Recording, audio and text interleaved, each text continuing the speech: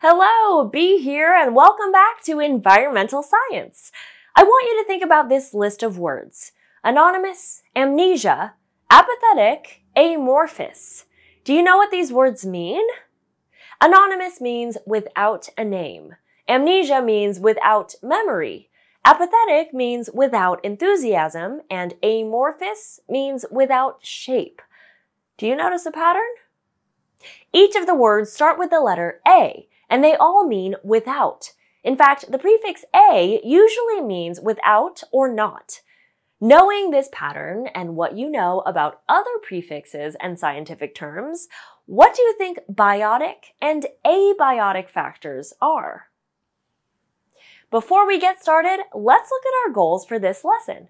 By the end, you'll be able to define biotic and abiotic, identify biotic and abiotic factors in an ecosystem, discuss how changes in the abiotic factors can influence the ecosystem.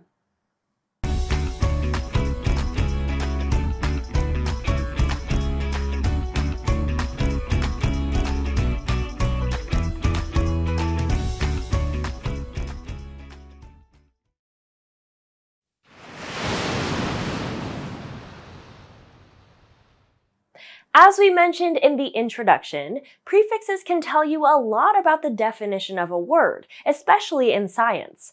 For example, biotic. The prefix bio means life. Biotic factors in an ecosystem are the living factors. This includes things like animals, plants, and bacteria. Now that we know what biotic factors are, and from the introduction, we know what the prefix a means, what do you think abiotic factors in an ecosystem are? Abiotic factors are the non-living factors in an ecosystem. Examples include soil and water, as well as temperature, light, and humidity.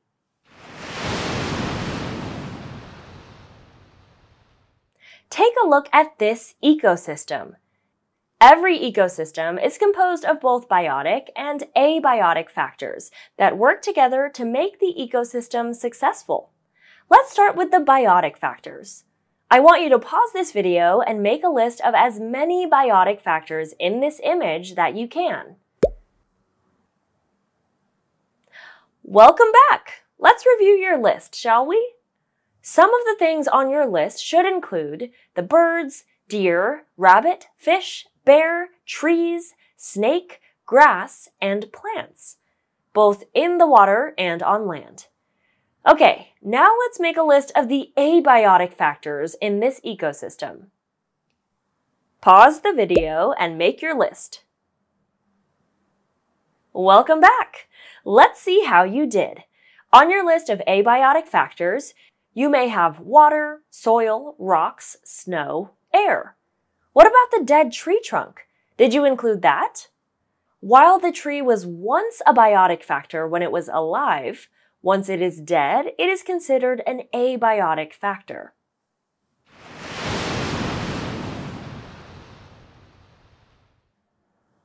Ecosystems are always changing. Biotic factors such as populations and communities move or become larger or smaller. But what about abiotic factors? What effects do changes in the abiotic factors in an ecosystem have?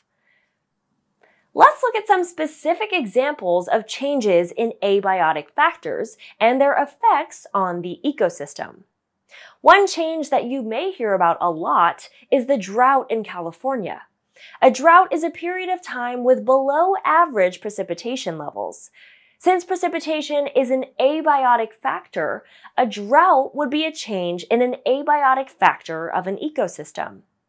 How do you think a drought would affect the rest of the ecosystem? Some of the effects of a drought include dying plants from lack of water, lack of access to drinking water for animals, increased fire risk, and altered carbon dioxide, nitrogen, and oxygen levels in the atmosphere.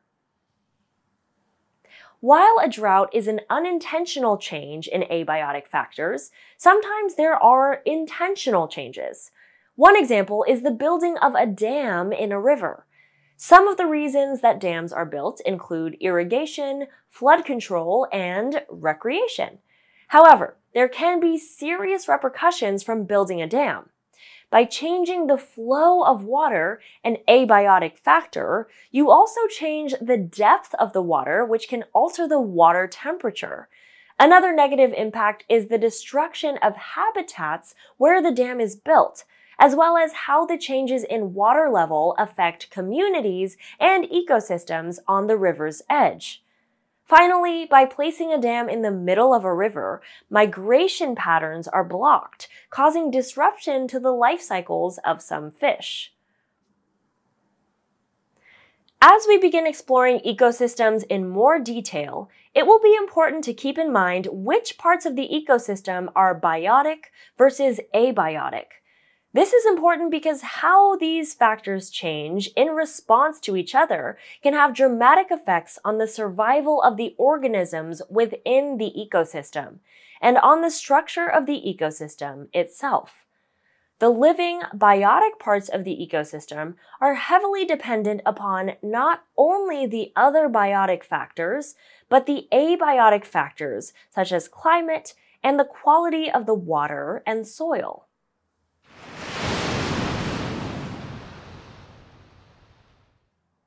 As we went through the lesson today, we defined biotic and abiotic factors and discussed how to identify each in an ecosystem. We also learned some of the effects of changing abiotic factors in an ecosystem. In our next lesson, we are going to dive deeper into what we mean when we say ecosystem. Until next time, remember, you're a force of nature, so keep sparking the changes that you want to see. I'll see you next time. Hey, hey.